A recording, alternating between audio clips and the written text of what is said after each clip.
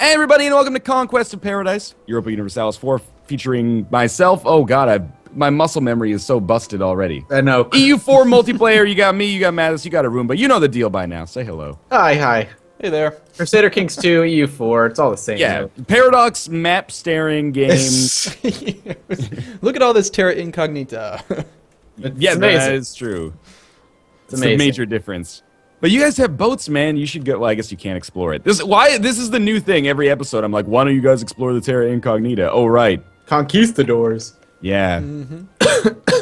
No, I'm serious, on, though. uh, I've been working on the economy. I kind of took over a trade post, or at least a land with a trade post in it, uh, the Chesapeake Bay.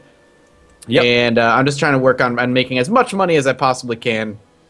I am I'm hopefully- telling you, take the Maya. I wonder why I can't see your terra incognita. We're allies, aren't we? Like, show me your stuff. What do you got hidden over there? That's what we were talking about. Like, I, I wish that it, it had kind of like a civilization style diplomacy option where you could like trade maps with somebody, but I don't. So, you know, I've only got a couple of provinces. I promise you, there's nothing to worry about. sure. also, I should mention, I, I forgot to mention this, but at the end of our recording last week, uh, Arumba was like, hey, like, how do you not have boats yet? And I realized that I had not taken the native technology that lowered the Diplo technology cost by 100%. So I was actually about to pay like an extra thousand Diplo points for boats when I didn't Jeez. need to. So I did do that, and now I will have boats in like 53 admin points, like nine months. I have the boat fetus inside of me, and within one gestation period, I will birth myself into Antilles Current. That's the origin story for the glorious Mohican Empire, I'm very proud of you. in the grossest way I could put it. All right, I, I, I completed my mission. Yeah. What was your mission, Mathas? To colonize Timbuktu. so I just, I I'm just glad I finished. I, finished annexing uh, uh, whatever it was, Ontario or whatever, up in the other island. Wow, that's like my home province, man. I'm pretty offended. But I don't understand why I actually can't colonize up there. I don't Do you have to be within a certain distance? Yeah, that'd be my guess. Yeah, is it too far away from your closest unblockaded core province? no, it's like Ontario. Like, yeah, it's saying it's too far away. Like, um, Algonquin is uh, hundred distance away, and it's they border. They border each other. it's like, how, how does that work? Oh, you're right. Yeah. I guess they're just like really far away from each other. Technically, seems silly. What are you gonna take for your uh, your national ideas? Do you think? Um, I really don't know. I I uh, I feel like I'm gonna have tons of military points, and I'm gonna just rely on the first col- colonies that come over to catch me up. So I'll probably take my, my, my military idea or something. Could be good. Oh. I, don't- I, I think I have not played an EU4 game where I haven't taken expansion.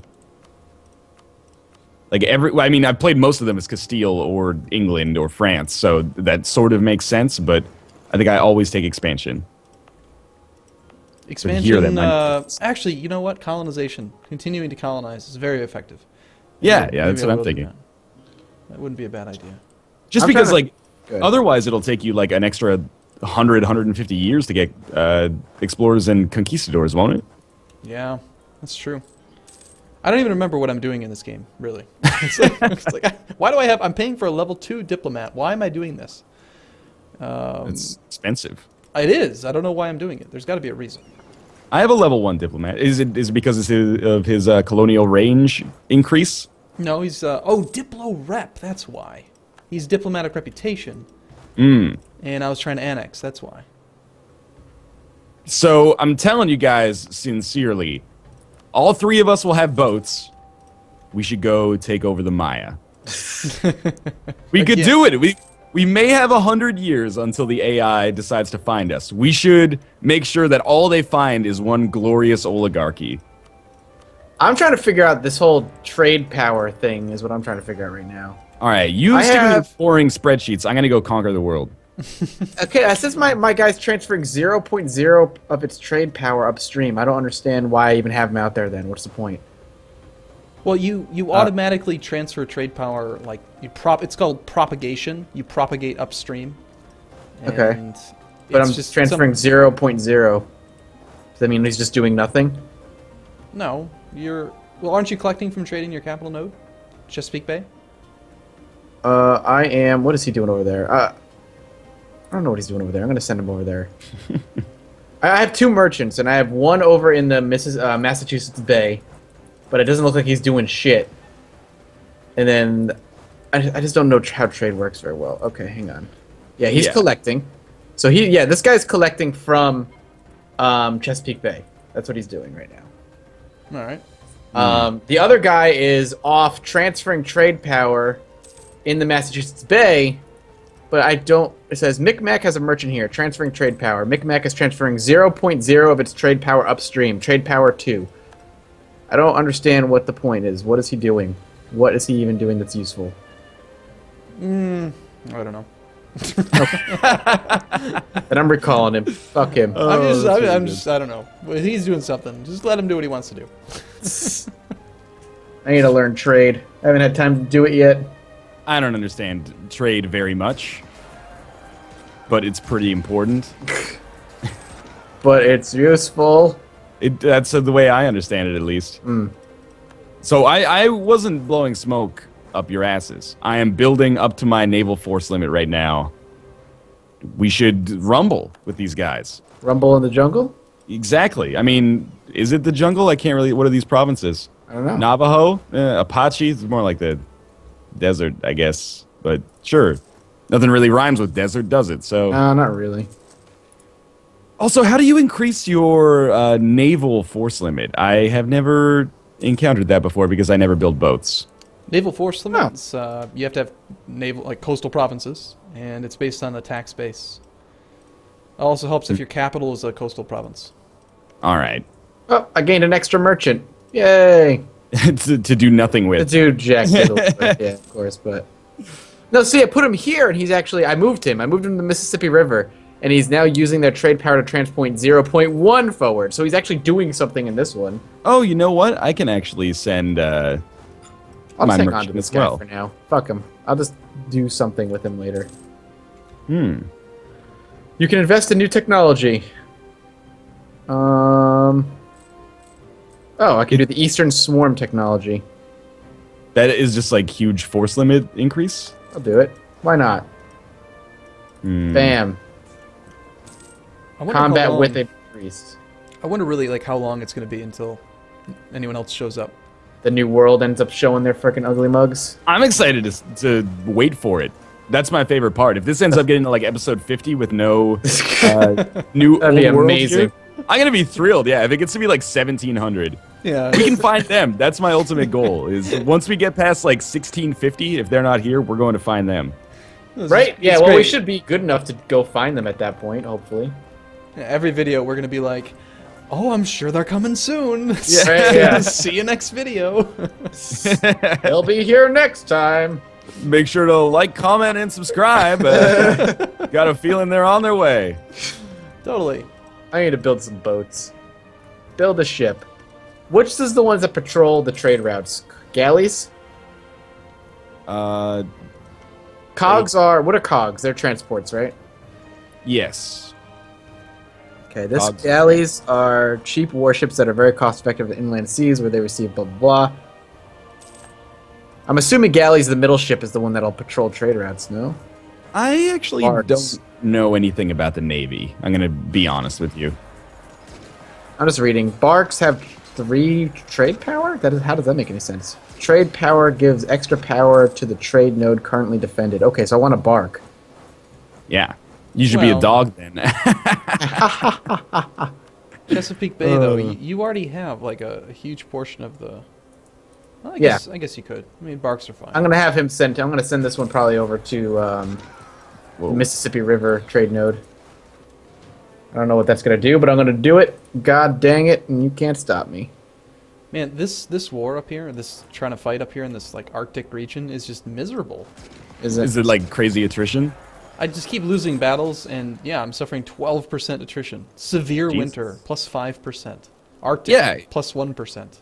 I'm pretty sure most winters are fairly severe at the Arctic Circle. you would think. I mean, it makes sense. Well, Cold over there all the time.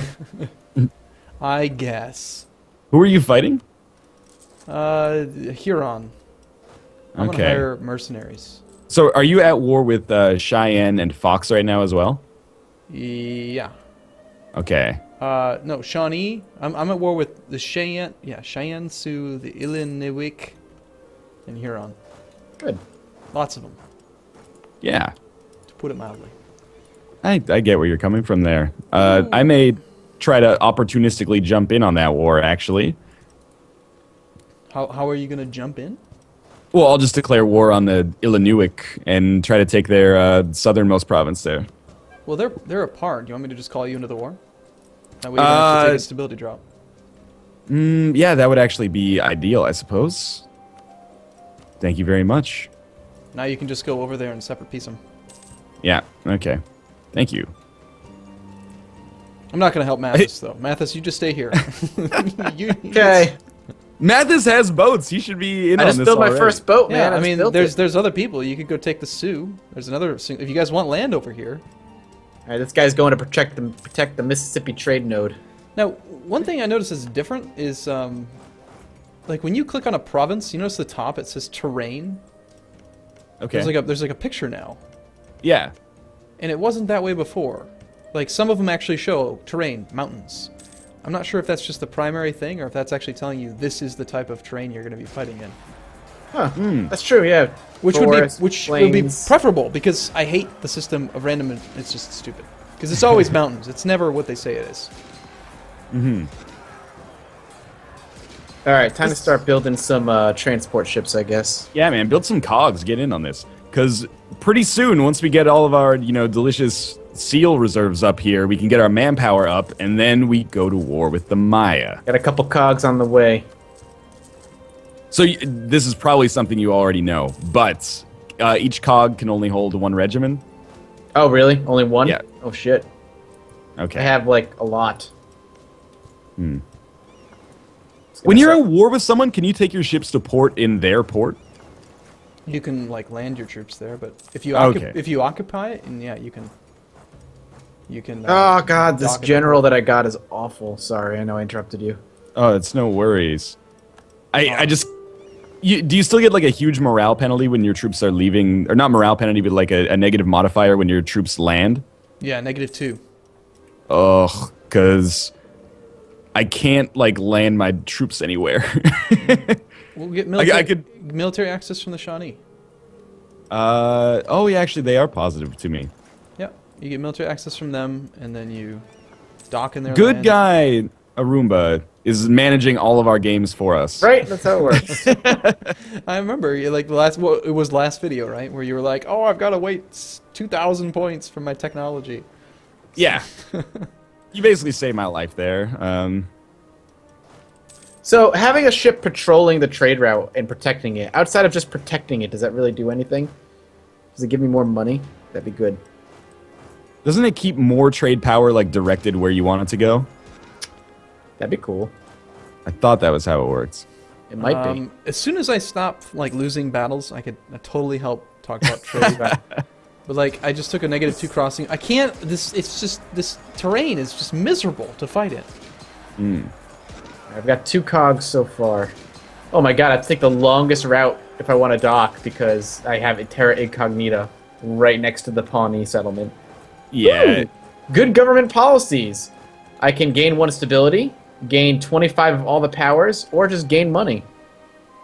I'm gonna go with stability. I'm at three stability now. Three. Why would Mm-hmm. you do such a thing? I don't fucking know.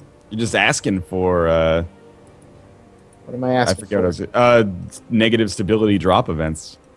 All right, Bring so it I, on. uh, I'm ready to end my war. So if you want to Oh man, that sucks. finish your siege, you gotta finish. It's at minus siege. It's at minus 35%, so I'm going to I'll try. S- So the You idea, could by the way, is go ahead. Go ahead. Oh, sorry. You, you could uh, pull some troops down here if you want to. Yeah, I think I'll get military access through the Shawnee and take on the Sioux. So the idea right now is to not invest any in any of these native advancements, right? Like there's No. no point. Native advancements are fine. The thing to not invest in, unless you need it, is the actual technology. Because when when you border a Western nation, you're just gonna immediately like teleport up to their tech level, minus two. Oh my god. I lost all six of my cogs. You just leave them at sea. That was awesome. No, like I, I- thought this would be over faster, but I, I forgot that they gained like base uh, attrition for the number of like months that they were at sea. So I sent them back to try to like uh, get to my coastal province, but they all died in transit. Good. It's pretty unfortunate. Mhm, he sounded real interested. yeah. Yeah, it's It, it's almost the uh, the siege is almost over here. Whatever, I'll just start building troops over here now. That's the last time I need boats. Yeah, the, the only issue you're going to run into is that um, here's how you're going to probably want to do it. If you full annex it and then keep them, you won't be able to core it. So you're So going I- to full annex Vassal. and then release as vassal. Yeah, Okay. and then you got So to wait. not, don't just don't just take them as a vassal. Just annex them first. You you could take him as a vassal if it'll let you. Would yeah. it, would it accomplish the same thing? yeah, but I think that it might cost you more points. I'm not sure. Okay. I just It's good figure out you're either paying admin points or it's just I don't know. It's- it's- God damn it! They took control of my settlement in like three seconds. I hate this game. Game Alright. too hard. Disband. So I'm gonna separate piece here. I only have 53% war score though. Oh, it might be a lot higher after you destroy them there. No, you have higher individual war score from with that target because you occupied it. Like the best way to look at your individual war score in the bottom right corner where you can you can see the wars, right? Mm. Open up the war interface Yeah, I'm there. and then hover over Mohican on the war goal, like on the left side of the screen, and it Oh, says okay. individual Yeah. war score against Huron 99. So even though the war is at 55, that's my war score. Your individual I war score is higher. All right. So, demand tribute. Huron will become a Mohican vassal. That's probably not what you want. Huron? No. yeah, I don't think you should try that. I don't think you could agree. They wouldn't agree to it anyway. They they would agree to it actually. Huron would agree to becoming your vassal? Yeah, I'm not gonna take it because that would be like incredibly dickish. But there you go. Um, okay, I have I have sent my piece to them and they've accepted. So now Illiniwek is is my vassal. Also, they sent me like a hundred ducats. What up with that? They're just happy to see you. I guess so. Yeah. Um. So now I should start the process of improving relations and annexing. Yeah, yeah. Ooh, I found You- another. Some more land was just exposed. I wonder if I should start colonizing it. So you need 190, and it's been your vassal for at least 10 years. Got it. Mm-hmm. No worries. Should probably build some more boats, though. How do I make someone my rival again? Oh, uh, open up your screen. Like, go to your own diplomacy, view your country, and then in like the red and black shield where it says There, there. rivals. Awesome. Somebody. Thank so we're gonna we're gonna rival the Maya, and uh, then we're gonna go to town on them. Is that what's going on? If you rival somebody, do you get a do you get a casus belli on them? No, you just gain the listed bonuses like uh, increased prestige from battles. You can embargo them for free. It's easier to spy on them. Okay. This game is I think it- complicated. I think I made It a is, really it is poor decision. I was I, I was starting to do like the Arumba strategy of getting two colonies going at once. I don't think it's I'm not doing that. One at a time for me. it's it's making the colonies grow so slowly, and it's killing me from like a colonial maintenance standpoint. But I guess it, the thing is, you could get like five or six going at once, and then hmm. No, there's no way you could afford it. Five or six? It's crazy. I mean, I'm only losing a ducat a month right now. That is enough to survive for like ten years, even if I don't fight any wars. But it goes up like um, the first colony's two Ex- gold, and then it's then it's a hundred percent increase, then four hundred percent, then nine hundred percent. Oh, okay. I did not know that. Yeah, each colony above your colonist count is uh, penalized. So That would be a problem. Three colonists, and you can have three colonies for cheap.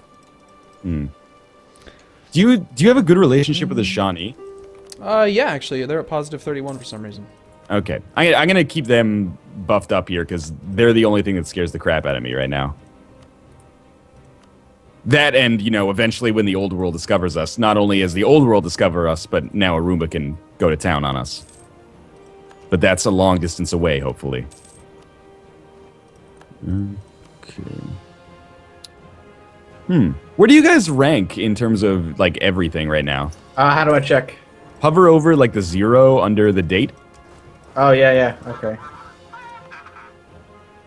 No. Well, that's gonna be Ryan.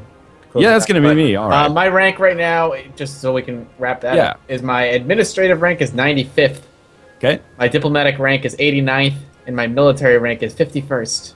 Hey, that's not so bad. How about you, Arumba? Um, I am ranked 23rd in admin, 97th in diplo, 143rd in military. All right, I'm 66th, 147th, and 48th. I don't know why. For some reason, I was expecting you to have like some top 10, like have banked some points already. Yeah. But in any case, I hope you guys have enjoyed this episode. We're starting to get some uh, more preparation done for the pre-conquest of the Maya. It's gonna happen. I guarantee it. As always, if you enjoyed the episode, make sure to show your support by clicking the like button or subscribing to us, and or subscribing to us, I guess. New videos do come out every single day, and you can check out our multiple viewpoints by checking out the links in the video description below to check out other people's channels. As always, thanks for watching. We'll be back tomorrow with another episode. See you next time. Bye. See you soon.